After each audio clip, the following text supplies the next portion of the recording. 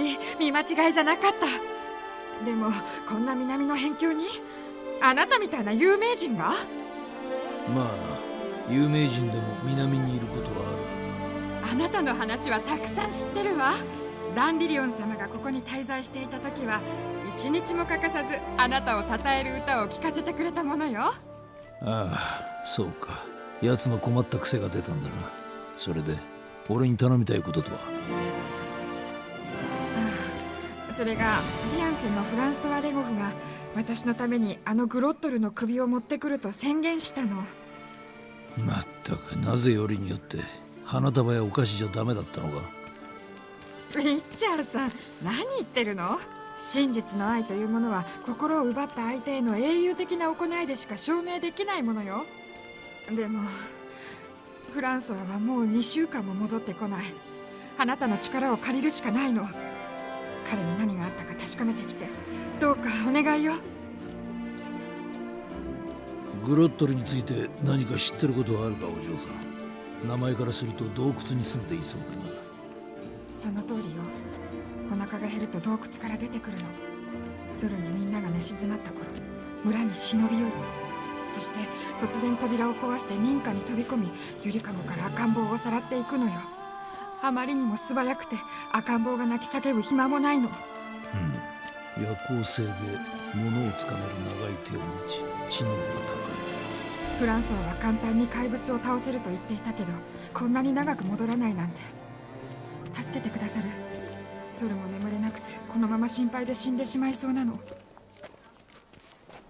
悩める乙女の頼みを断るのは主義ではないなもちろん その見返りがあれば申し分ないが。ああそれはもちろん。遍歴の騎士ではなくてお仕事ですものね。いくらあれば足りるかしら。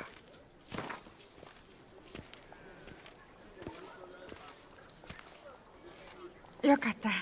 それなら用意できるわ。君のフィアンセを無事連れ戻そう。まずそうだな探す場所の見当がつけば教えてくれ。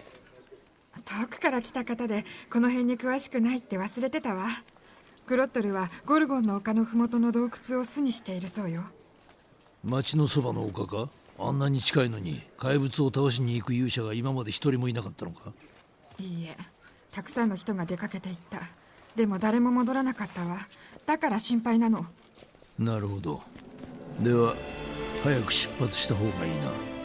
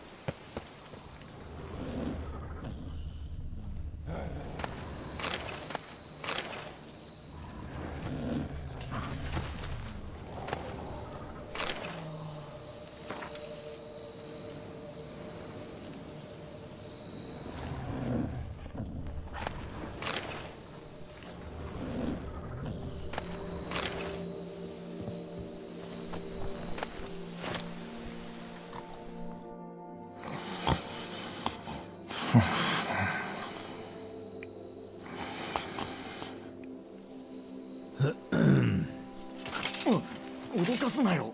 流れ者死ぬかと思った。名は何と言うんだ。掲げる紋章はいい。フォーホーンのラビクス。紋章は歩く熊にまたがった乙女の図柄だ。さて騎士としての自己紹介はこの辺でいいだろう。フランソワ・レゴフだな。お前の婚約者に頼まれてきた。お前が長く帰らないから心配していたぞ。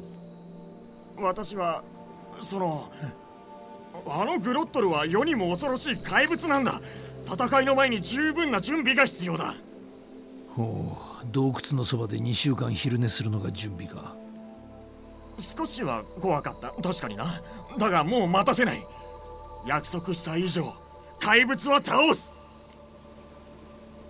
もしかして手助けが必要だったりするか？えっ、とどどうかな？やっぱり固く誓ったことだし。恋人の前に怪物の首を差し出すという誓いが一人で戦って殺すとは誓っていないな。考えてみればその通りだ。では力を合わせて戦おう。名誉のために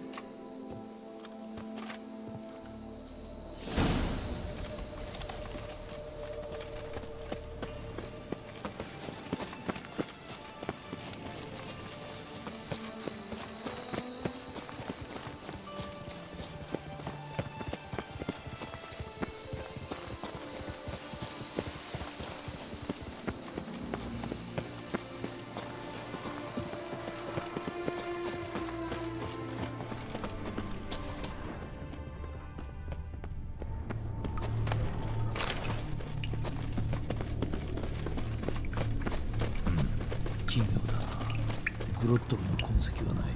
引き返すべきかもな。怪物がまるで温室に迷い込んだ。よ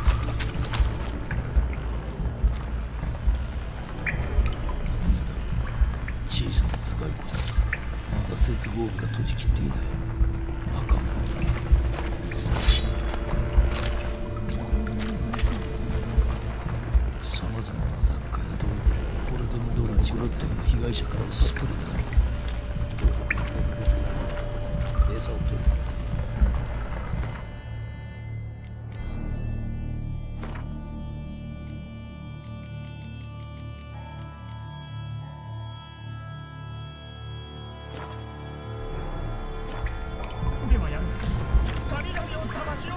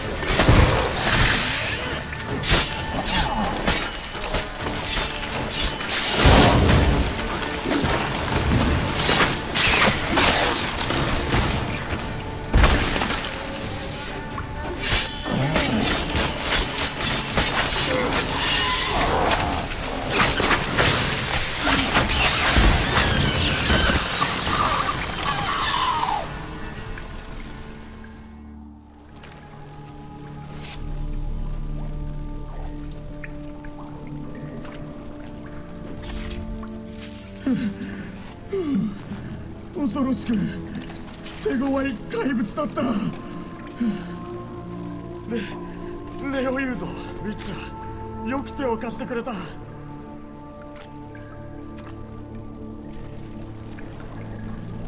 なぜここまでの危険を冒した？もっと楽な敵もいただろう。ウェアバブではいけなかったのか。なぜだと？それはこの情熱に見合うだけの凶暴さを持つ怪物でなくては意味がないし。騎士殿顔が赤いぞ。ああ実は婚約者のことなんだが結婚したくてたまらない様子なんだ。まだ知り合って2年しか経ってないというのに。だからグロットルを倒すと約束した。時間稼ぎになると思ったんだ。あれほどの怪物なら倒すのに何ヶ月もかかるだろうし。なるほど確かにあの調子だったらな。そろそろボークレールに帰らないとな勇敢な騎士殿待て待てダメだ。このつまらない怪物の首程度では我が婚約者への愛を表すには不足している。まだまだ世界は広い。彼女に捧げるためにさらに首を取るんだ。もっと恐ろしい怪物のな。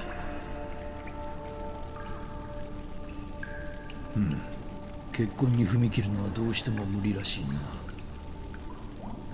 まあ到底うまくいくとは思えないな。だが好きにすればいい。幸運を祈る。それはどうもウィッチャー殿。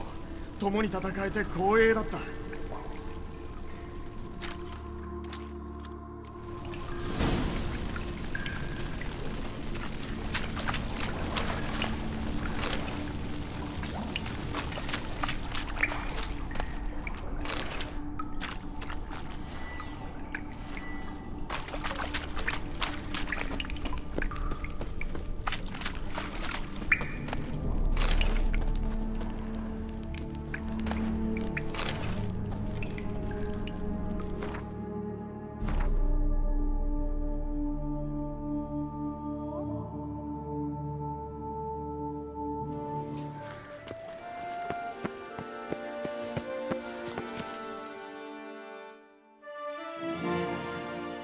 いい知らせだ。君の婚約者は？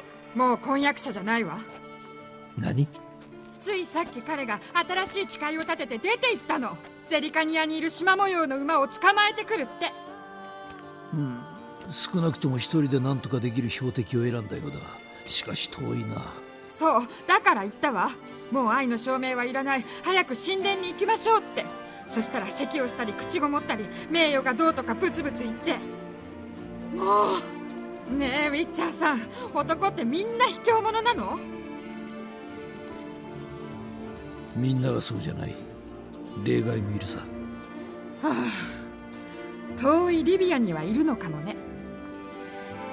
でも私の心の痛みはあなたには関係ないわね。約束のお礼よ。それからこれは忠告だけど女性のウィッチャーと道を共にする時が来たら悲しませないように誠実に接することね